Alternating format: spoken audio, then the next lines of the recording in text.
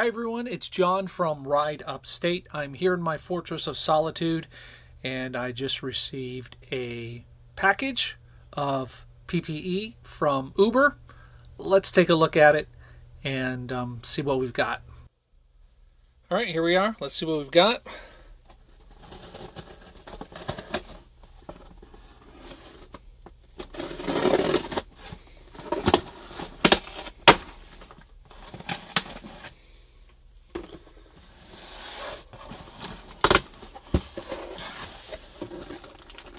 Alright, these are from Uber, and they are the sanitizing wipes. I got two packs of 80 sanitizing wipes, 160 sanitizing wipes from Uber.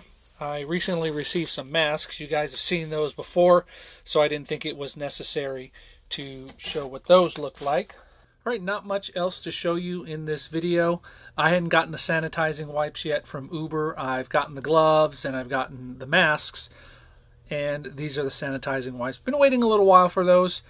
Uh, they'll come in very useful in keeping my car clean. I'm mostly doing deliveries, but every once in a while I will take a passenger, depending on the time of the day and whether or not I'm trying to complete a quest or something like that. So until next time, thanks for watching. If you want to support this channel, you can always hit me up on Venmo.